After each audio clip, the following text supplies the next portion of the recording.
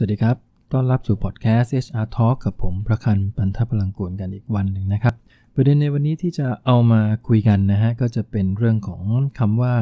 performance calibration ซึ่งผมเชื่อว่า HR หลายท่าน ถ้าทำงานด้านนี้มาสักพักหนึ่งน่าจะพอได้ยินคำนี้มาบ้างนะครับ ก็จะมีหลายคนก็สงสัยว่า performance calibration จริง ๆ มันคืออะไรกันแน่ ทำไปทำไมเนี่ยนะฮะแล้วก็สุดท้ายแล้วทำแล้วมันได้ผลจริงหรือเปล่า ต้องบอกว่าจริง ๆ เรื่องของ performance หรือว่าการประเมินผลงานเนี่ยมันมีประเด็นปัญหามาในทุกยุคทุกสมัยนะครับ ไม่ว่าจะมีการออกแบบระบบการประเมินผลดีสักแค่ไหน มีการเอา KPI มาใช้ชัดเจนสักแค่ไหน หรือแม้กระทั่งในมุมของพฤติกรรม ในการทำงานของพนักงานเนี่ยบางแห่งก็มีการกำหนดไว้อย่างเคลียร์มาก เขียนนิยามกันออกมา โดยที่อ่านแล้วก็พอที่จะตีความไปในแนวทางเดียวกันได้นี่นะครับ แต่สุดท้ายพอถึงเวลาลงมือประเมินเมื่อไหร่ แล้วก็มีเรื่องของการเอาระบบประเมินผลไปผูกกับระบบการให้รางวัลเมื่อไหร่ ไม่ว่าจะเป็นเรื่องขึ้นเงินเดือน การให้โบนัส มันสุดท้ายแล้วนะครับ ตัวนี้มันจะทำให้การประเมินผลงานมันเบี้ยวทันที จากนายนะฮะผู้จัดการที่ มีความรู้สึกว่าเนี่ยเราจะเป็นผู้จัดการที่ดีประเมินผลออกมาตรงไปตรงมา แต่พอถึงเวลาเห็นหน้าลูกน้อง เคยทำงานกับลูกน้องคนนี้รู้สึกดีกับคนโน้น รู้สึกเหม็นหน้าคนโน้น สุดท้ายความรู้สึกพวกนี้มันยังตัดออกได้ไม่หมด ผลก็คืออะไรฮะผลก็คือเรามีความรู้สึกว่าเราอยากให้ลูกน้องคนนี้ได้เงินเดือนขึ้นเยอะๆคนนี้ต้องได้มากที่สุดคนนี้ต้องได้มากกว่าคนอื่น เราก็เลยไปแปลงร่างคะแนนในการประเมินผลทั้งๆทที่หลายแมเนเจอร์นะครับ รู้อยู่ในใจแล้วว่าพนักงานคนนี้มีจุดบกพร่อง มีสิ่งที่ต้องพัฒนานะฮะแล้วก็รู้อยู่เลยว่าถ้าเราให้ตรงไปตรงมาเนี่ยยังไงก็ไม่ได้เงินเดือนขึ้นเยอะเท่าไหร่หรอก สุดท้ายก็เลยอยากให้เขาได้เยอะไงครับก็เลยให้ A ซะเลยนะบางท่านก็บอกว่าองค์กรเรามี A บวกก็ A บวกครับ บางองค์กรบอกสูงสุดคือ A บวกบวกก็หยอดไปที่ A บวกบวกผลออกมาก็คืออะไรฮะ มันคือผลการปฏิบัติงานของพนักงานส่วนใหญ่ในองค์กร 80%ตกที่ตัว A ก็คือเรียกว่า outstanding เนี่ย A ทั้งหมดคำถามคือมันเป็นไปได้สักแค่ไหนที่พนักงานร้อยคน 80 คนผลงานดีสุดยอด เคยคุยประเด็นอย่างนี้กับ CEO บางท่านนะฮะเขาก็บอกว่าโอ้ถ้าประเมินผลออกมาแบบนี้นะ 80%ในองค์กรได้ A หมดนี่ป่านนี้ บริษัทน่าจะรวยกว่านี้เยอะนะกำไรน่าจะได้มากกว่านี้ ผลงานก็น่าจะน่าจะได้ดีกว่านี้ แต่นี่มันไม่ใช่นี่ KPI ก็ตั้งไว้นะแล้วทำไมปล่อย A กันมาเยอะขนาดนี้ นะพอไปสืบลึกๆเข้าก็สาเหตุหนีไม่พ้นครับก็คือเรื่องของความรักความชอบ ความรู้สึกไม่อยากให้ลูกน้องตัวเองได้ไม่ดี ในมุมของค่าตอบแทน ในมุมของผลงาน ซึ่งมันอาจจะทำให้นายรู้สึกว่า โอ้ยอย่างนี้มันเป็นการไม่ได้เป็นการสร้างบารมีให้กับลูกน้องเลย ให้ผลงานลูกน้องต่ำๆเดี๋ยวลูกน้องก็เกลียดเนี่ยมันกลายเป็นมุมแบบนี้ฮะสุดท้ายถ้า A กันเยอะๆทำไงดี มันก็เลยเกิดคำว่า performance calibration เกิดขึ้นคำว่า calibrate หรือ calibration เนี่ยนะฮะ ถ้าเรามองในมุมของคำแปลมันตรงๆ มันคือการเทียบ ถ้าถ้าเราเคยได้ยินคำว่า calibration ในมุมของเครื่องไม้เครื่องมือเนี่ย มันคือการสอบเทียบเครื่องมือ การทำให้เครื่องมือวัดต่างๆ ตรงตามมาตรฐาน ถ้าเราเคยได้ยินคำนี้ก็คงน่าจะได้ยินมาจากพวกเครื่องมือวัดต่างๆ ไม่ว่าจะเป็นสเกลตาช่าง นะครับเรื่องของอุปกรณ์ในการวัดอุณหภูมิเนี่ยพอใช้ไปนานๆ มันจะเริ่มเพี้ยน หลุดออกจากมาตรฐานปกติ ก็ต้องเอาอุปกรณ์นี้ไป calibrate มันก็คือการสอบเทียบนะเทียบเคียงกับมาตรฐานเพื่อปรับให้มันออกมาแล้วช่าง หรือว่าตวงวัดให้มันได้ตามมาตรฐานจริง ๆ ในการประเมินผลงานก็เช่นกัน เราก็ใช้คำนี้นะฮะในการที่จะ ปรับมาตรฐานของคนประเมินให้มันออกมาอยู่ในมาตรฐานเดียวกันให้ได้ ดังนั้นการทำ performance calibration เนี่ยเราทำมันขึ้นมาก็เพื่อนะครับ เพื่อที่จะแบ่งทรัพยากรที่มีอยู่จำกัด ให้กับคนบางคนซึ่งมีสิทธิ์ได้ไม่ได้เยอะนัก แต่คนมันมีเยอะนะฮะแต่สิทธิ์ในการได้ทรัพยากรนั้นเนี่ยอาจจะไม่ได้เยอะนะตัวอย่างชัดมากที่สุดก็คือ เรื่องของการขึ้นเงินเดือน งบประมาณมี 5%จำกัดมากนะใครที่ได้ 10%ต้องมีน้อยหน่อย ระดับ A เพราะฉะนั้นเราก็ต้องมาเกลี่ยกันทำ performance calibration กัน จัด resource นะฮะ จาก resource ที่มันมีอยู่จำกัด โบนัสก็เช่นกัน ถ้าเราจัดแบ่งโบนัสตามผลงาน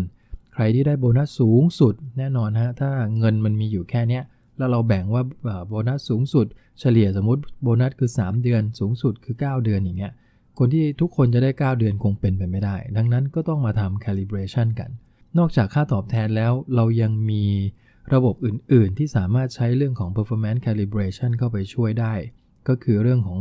อย่างบางองค์กรมีโปรแกรมที่เป็น leadership development โปรแกรมที่ต้องส่งพนักงาน มือดีที่เป็น talent เนี่ยนะฮะออกไปอบรมต่างประเทศ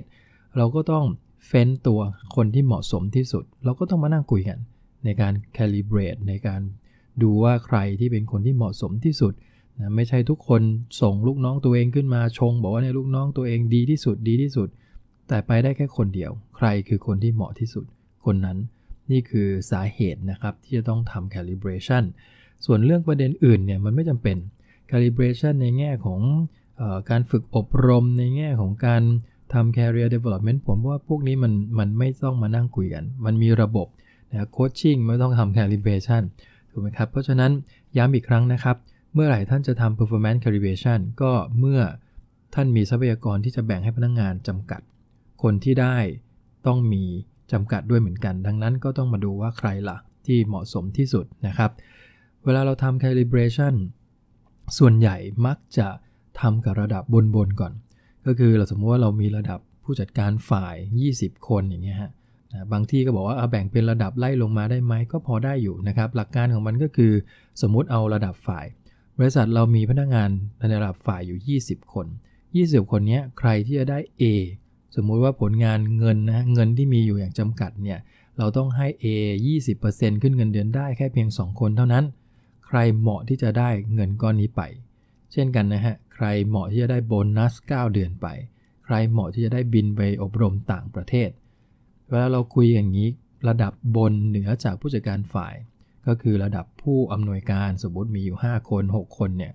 ห้าหคนนี้จะต้องมานั่งคุยกัน แล้วก็ให้ HR เนี่ยนะครับเก็บรวบรวมข้อมูลผลงานของผู้จัดการฝ่ายทั้ง 20 คน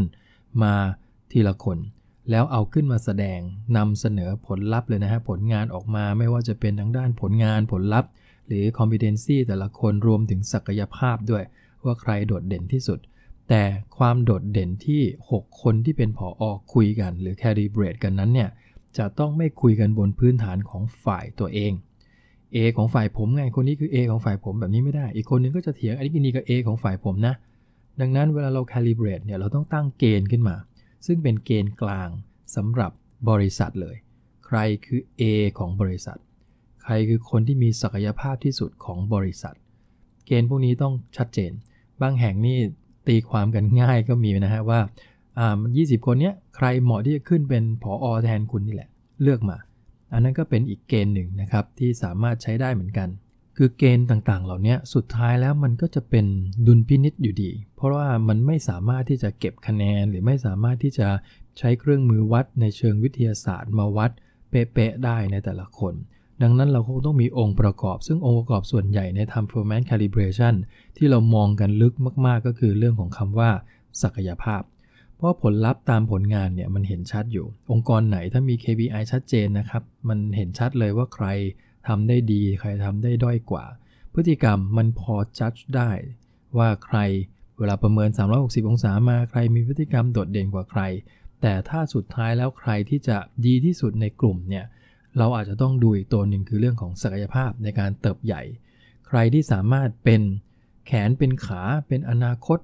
ให้กับองค์กรได้ คนนั้นแหละ เราคงต้องมีเกณฑ์อย่างที่ต่างๆ เหล่านี้นะครับ หลังจากนั้นก็ต้องให้ผู้ให้ผู้อำนวยการแต่ละคน 6 คนเนี่ยถกกัน นี่คือเซสชันในการทำ calibration ซึ่ง